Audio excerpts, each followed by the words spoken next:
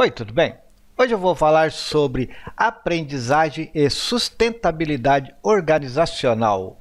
Sou Éder Sabino Carlos e este é meu canal Matérias para Concursos. Na descrição abaixo do vídeo tem vários links que te ajudarão a passar em um concurso público. E não se esqueça de se inscrever no canal, ativar o sininho, dar um like e compartilhar.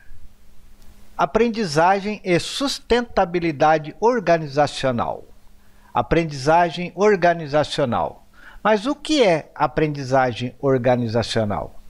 É um processo de aprendizado onde se soma todos os conhecimentos adquiridos pelo indivíduo, tanto os conhecimentos formais, adquiridos através de capacitações, como os informais, adquiridos através de sua experiência no dia a dia.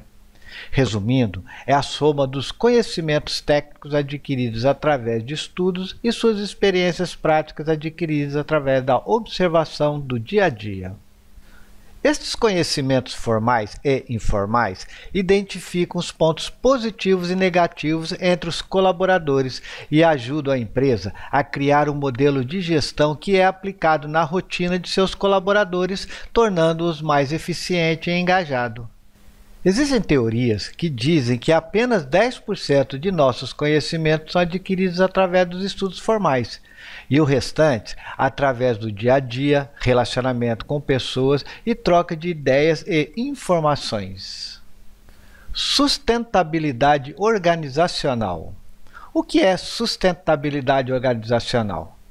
Quando se fala de sustentabilidade organizacional, estamos falando sobre uma organização se manter viva no mercado, ou seja, lucrativa com o passar dos anos. Hoje, mais do que nunca, a empresa deve se manter sustentável, mas com responsabilidade socioambiental, ou seja, ela deve se manter lucrativa, mas respeitando o meio ambiente e a sociedade. A sustentabilidade indica que a preocupação das empresas deve ir além da produção e da geração de dividendos, devendo se debruçar sobre questões que proporcionem o bem-estar dos seus empregados, associadas à preocupação com a comunidade da qual fazem parte esses mesmos empregados. Na perspectiva de uma crítica ao modelo tradicional de sustentabilidade, o objetivo de um ambiente organizacional externo e interno sustentável é que as pessoas sejam consideradas o alvo principal da garantia de uma vida saudável, tanto econômica e politicamente quanto do ponto de vista da saúde física e mental. Segundo a literatura em geral, o tripé da sustentabilidade organizacional, que seria também empresarial, é alcançado por meio da sustentabilidade econômica, sustentabilidade ambiental e sustentabilidade social. Sustentabilidade econômica é a empresa se manter lucrativa no passar dos anos. Nessa sustentabilidade, o objetivo é financeiro a longo prazo.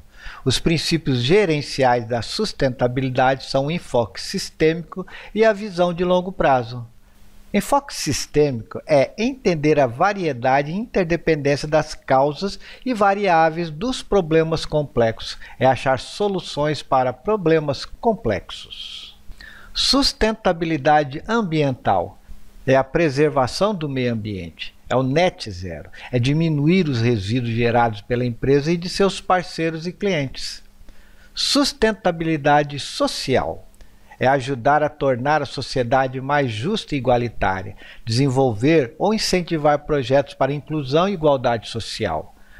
Quando a empresa tem uma visão socioambiental, acaba melhorando sua imagem, aumentando sua credibilidade junto à sociedade e, consequentemente, melhorando seu posicionamento junto a seus clientes.